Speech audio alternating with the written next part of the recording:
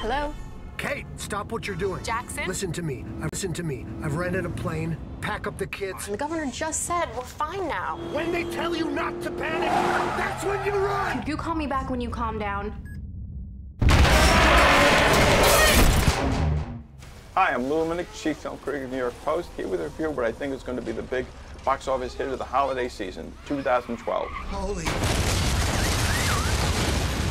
I don't know about you, but I'd gladly pay $12 to see Los Angeles sliding to the Pacific Ocean like so much rubble in Roland Emmerich's deliciously nutty Mother of All Disaster Movies 2012.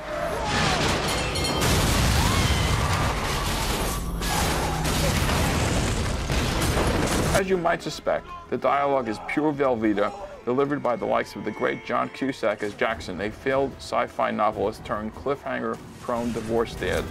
You won't start. Shut up, everybody! Engine. Start. Voice control.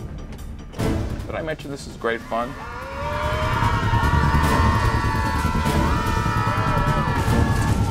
Arnie Grinch, or possibly a movie critic without a sense of humor, would question whether you could really drive a limo straight through a collapsing skyscraper. No, no, no, no, no!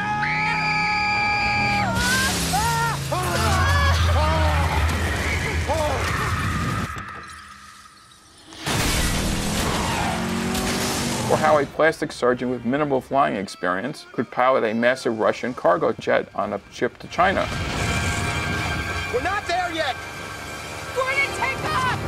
Punch it, punch Have to get to 85 knots. 80's good. Pull it up, pull it up. The only thing that's missing from 2012, except possibly common sense, is unfortunately 3D IMAX and Sensurround for those that would have gladly paid $20 a ticket.